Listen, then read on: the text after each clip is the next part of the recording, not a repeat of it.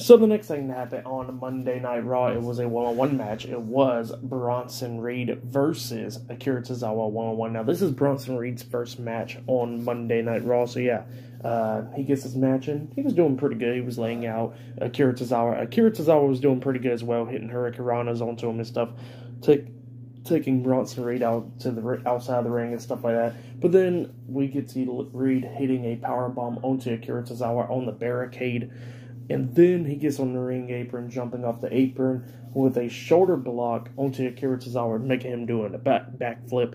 And then he th- grabs him, throws him back into the ring, climbs at the top turnbuckle, jumps off with a big splash, the tsunami, onto Akira Tozawa, and then pins him for the one, two, three. So yeah, Bronson Reed defeated Akira Tozawa tonight in a one-on-one match. That's what happened.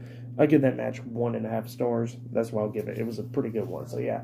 Uh, that's what happened there. Akira Tozawa got some offense in as well, which is a good thing, you know.